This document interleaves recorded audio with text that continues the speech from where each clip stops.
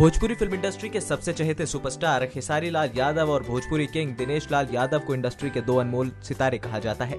इनकी फ़िल्में जब भी सिनेमा घरों में दस्तक देती हैं, बॉक्स ऑफ़िस पर धमाल मचा देती हैं और अक्सर ये दोनों ही सुपरस्टार सुर्खियों में बने ही रहते हैं। और इन दिनों एक बार फिर ये दोनों सुर्खियों में बने हुए हैं और उनके सुर्खियों में रहने की वजह है, हाल ही में हुए लंदन में आईबीएफए अवार्ड फ़ंक्शन दरअसल, लंदन में हुए इन अवार्ड फ़ंक्शन के दौरान ये दोनों ही स्टार्स एक साथ खूब हँसी मज़ाक करते हुए नज़र आए। और खबरों के मुताबिक निरहुआ ने खेसारी को काफ़ी कुछ कह डाला। निरहुआ ने कहा कि खेसारी हमेशा नशे में रहते हैं और अपनी ही धुन में लगे रहते हैं। खैर, इस बात को सुपरस्टार खेसारी लाल यादव ने तो मज़ाक में ले लिया और निरहुआ के साथ हँसी मज़ाक करने में लग गए। वेल, हम तो बस यही कहेंगे कि आप भी इस बात को उतना तवज्जो ना दें क्योंकि ये स्टार हमेशा से ही अवार्ड फ़ंक्शन के दौरान काफ़ी मस्ती करते हुए नज़र आते हैं और आपको बता दें कि इस अवार्ड फ़ंक्शन का प्रसारण जल्द ही टीवी पर भी होने वाला है। नेक्स्ट नाइन न्यूज़ रूम के लिए अभिलाष की रिपोर्ट।